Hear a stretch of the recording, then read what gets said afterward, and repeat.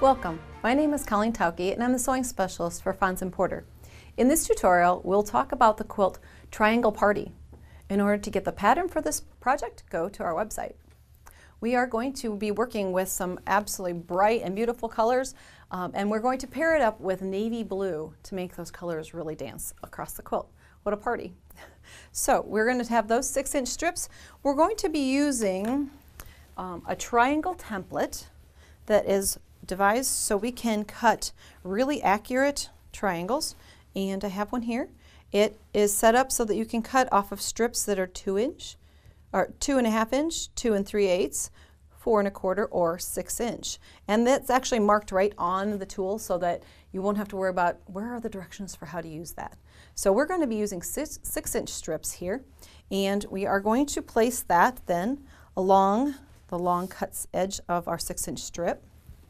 And we're going to go in and we're going to cut seven triangles from each of the prints. So we're going to be cutting, I'm going to cut double layer here. So we can cut the first six. And then you'll want to rotate this so you're always working in a safe direction. And if you get once you get a little confidence, you could stack up layers of fabric and cut multiples at once. So we have one. And then we can come in and cut the second, which would mean we have four. Once again, we're going to have two more, so that's six. And then we're going to have to remember to open up our fabric and cut one because we need seven altogether. So we'll come in here, open up our strip gently, and cut the last piece from this. Now, we aren't done with the strip because we do have more fabric here. We want to make small triangles also. So we are going to take these triangles then and put those into the stack that we're going to use for piecing. And we're going to take our regular ruler and we're going to come in and we're going to change the width of this strip now to 2 and 3 eighths. And on our ruler, it has 3 and 3 eighths inch strip. So this is the size we want next. So we'll trim this down. Great way to use all of our fabrics here. Oops. Okay, so this is going to go into our scraps. And we'll have this narrow strip. And now we're going to be using the tool to cut again off of the strip, but we're going to take small triangles this time. And we cut them in the same manner we did the large ones, just alternating back and forth down the rest of our strip. And then cut the required, reference your pattern for all the details there. Okay, we'll set these aside. You're going to be cutting strips also from the navy blue fabric. Same manner, large triangles, small triangles. So this comes in really handy for cutting them very efficiently. Okay, now we are going to take the small triangles first and we're going to create um, look, look, what looks like a pyramid. So what we're going to do, and now we're going to use them in different um, color combinations, but the first one we're going to focus on has the navy blue in the center.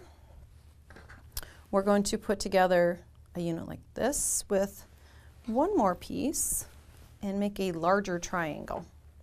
So the piecing for this is simple. We just lay them right sides together. We're going to come in and sew a quarter inch seam. Now remember you're working with triangles, it means you have bias edges. Want to be very careful with the fabric, very gentle. You don't want to pull or stretch while you're sewing or pressing. You'll get a distorted triangle. Okay, so now that I've got a quarter inch seam there, I'm going to take it over to the ironing board. And I'm going to do something just a little bit different than I normally do.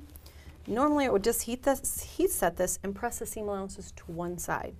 But in this case, we want you to press the seam allowances open. So something we're not used to doing a lot of is to come in and gently open up that seam and press it flat. If you look at the quilt, you'll notice there's a lot of intersections, a lot of uh, seams coming together. So if we open them up, we'll reduce the bulk and we'll get a better end product. So we've got one side attached. We would do the same thing, second side, third side.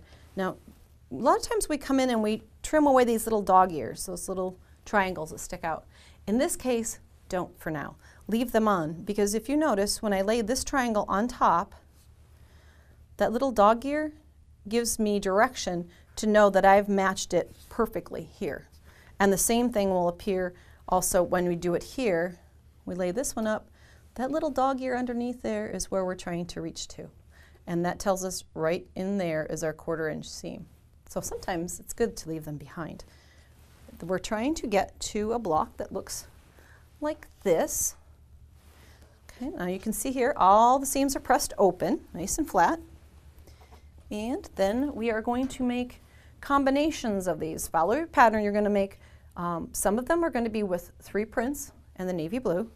Some are going to be navy blue, three of these, and a print in the center. So what we want to do is create a piece that looks like this. And in order to join those together, it's the same exact piecing as you did with your standard little triangles here. You're just going to lay them right sides together sewing through here and you'll notice that when you get to that intersection they should be right, one right on top of the other and if you want to double check what you do is drop a pin in right at that intersection on the one block or one piece of the unit come through to the bottom right at the tip drop the pin through there and you've pin matched them perfectly, one over the top of the other. Now don't rock that pin back and take a bite into it. Leave that one there as a pole, like the North Pole, and then come in and pin this way. And then you can take this one out. And it will give you a perfect point when you stitch that and open it up. Okay, I've got a piece of that already prepared, so you can see what it looks like. Okay, I've already put it in with um, some of the other, with the navy blue. So this is our section we created. If you isolate it, there's one triangle. There's the second and the third. And we've put in the navy blue large triangles, same piecing throughout, and some of the lar um, large print ones. Now, when we want to go to start joining rows together, oops, I got this one upside down. Let's turn it around. When we start to join our rows, we have to make sure that we're alternating a print and a navy, print and a navy, navy, print, back and forth like this. The way that we joined pieces together when we were pin matching, the exact same technique we'll do when we join the rows together.